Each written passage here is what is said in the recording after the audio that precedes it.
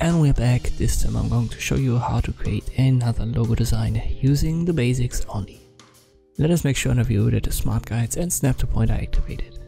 We will create an ellipse, left click, oh that was the polygon tool, let me select the ellipse tool, left click. We're going to make it 100 times 100, click on OK. Align it to the center, press V for the selection tool, make sure that your circle is selected, then press Ctrl C and Ctrl B. We've copied and placed another circle in the back. I'll make that 200 times 200. You can also activate this link tool over here.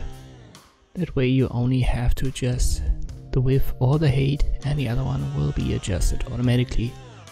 We're going to repeat the process.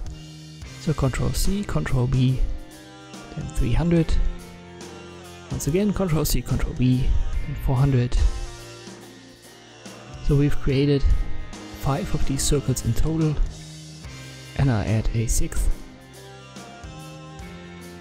It's the same method. So you copy the last one with Ctrl C, you place it in back using Ctrl B and then you resize it. And now I'll give it different colors using the basic color swatches.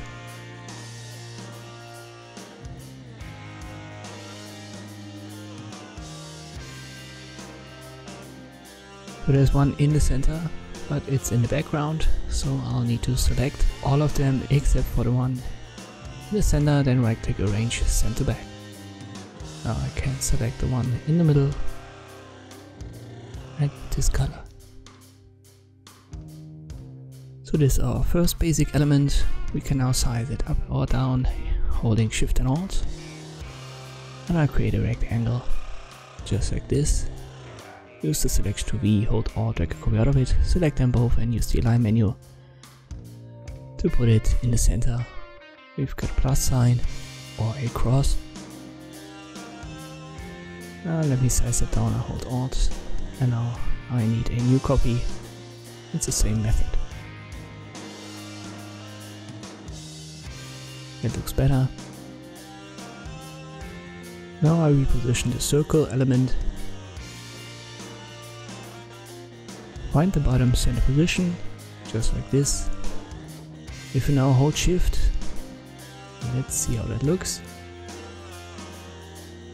Ah, let me do that again. This time I hold alt and shift. And I size it up to here and it should give better results.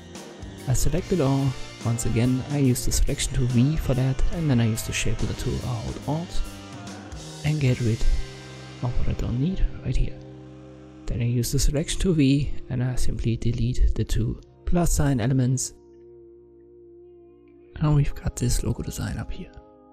When you size it up or down, hold shift and alt. Let me give the one at the bottom a different color and I use the color guides for that.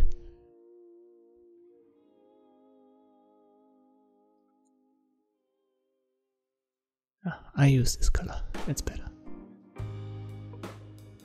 And is another example of how to use the simple basics to create a good looking logo design in Adobe Illustrator. Thank you for watching and I'll see you next time.